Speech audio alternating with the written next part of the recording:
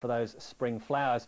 The first lot of rain will be coming northwards on this developing weather system, bringing heavy rain, I think, particularly to northern England and up into Scotland. But this next batch of rain, I think, is going to be rather heavier and much more widespread, pushing up across most areas through Friday and into Saturday. But with winds coming in from the southwest, it is going to stay quite warm. Temperatures generally in the high teens, even into the low 20s for many places. You can see those orange and yellow colours pretty widespread as we go through uh, Sunday and into Monday.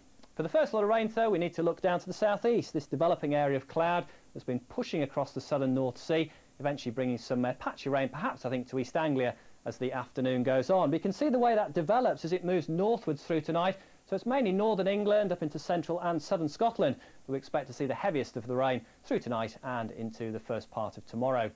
For this afternoon, though, not a great deal of rain around, just a few spits and spots coming in across these southeastern areas. Turning quite gloomy in the southwest, though, low cloud coming in off the sea. The brighter weather, though, hanging on across uh, Northern Ireland and particularly into western Scotland. Some reasonable temperatures in these brighter areas, but everywhere across England and Wales, away from that east coast at least, it is going to stay quite pleasantly warm. But then through tonight, there's that rain moving steadily northwards, quite heavy for a time, I think, across parts of northern England, up into southern Scotland by the end of the night. To the south of that, clearing for a time before that low cloud begins to push in from the southwest. So a pretty muggy night here. Temperatures 10 or 11 degrees on the south coast, but nowhere particularly cold. On to tomorrow morning, a rather wet start to the day across uh, Scotland. Fair amount of cloud further south, but one or two showers breaking out as the sun begins to come through.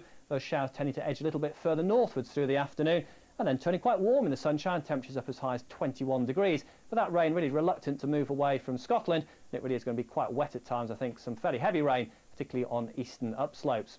Through Friday then and into Saturday, we see that uh, weather front moving northwestwards. So another batch of rain begins to move in through the course of the day. Many places seeing that rain, I think. It's only quite heavy for a while. Some brighter weather for a time, so across Scotland to the north of it. The first lot of rain moving away from Scotland through Saturday. The next area not too far away, perhaps a little bit lighter and more patchy this time. That internal push away with a mixture of sunny intervals and showers pushing across many areas during Sunday, becoming rather windy though across the north. That's the weather.